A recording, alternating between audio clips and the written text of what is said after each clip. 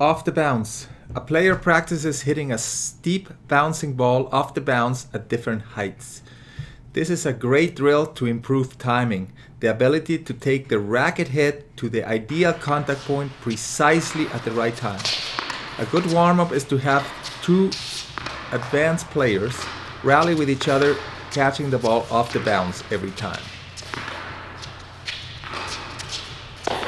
If the players cannot do it themselves, then you can start with the next step, which is the off the bounce. For this step, a player or a coach will hit a high bouncing ball to the other player or to his partner. The player is going to try to catch the ball right off the bounce every time. Practice on the forehand side, practice on the backhand side. It's important that the ball is very, very high and that it bounces steeply up. The players will have to move their feet, adjust, and swing exactly at the right time.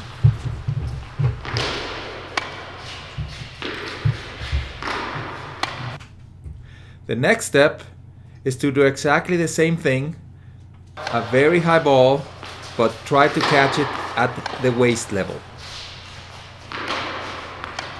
So the player moves, set ups, and then hits the ball at waist level.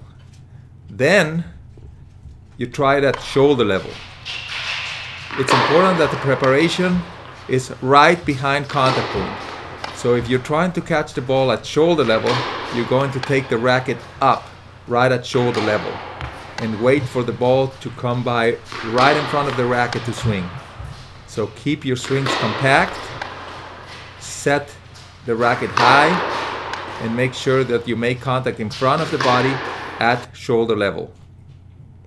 Finally, you're going to mix it up. The player's going to be asked to catch the ball right off the bounce first. The next shot is going to be at waist height, and the next shot at shoulder level. Off the bounce, waist high, and shoulder level.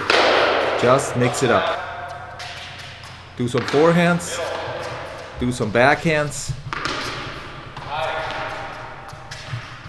and try to get the ball right at the ideal contact point every single time.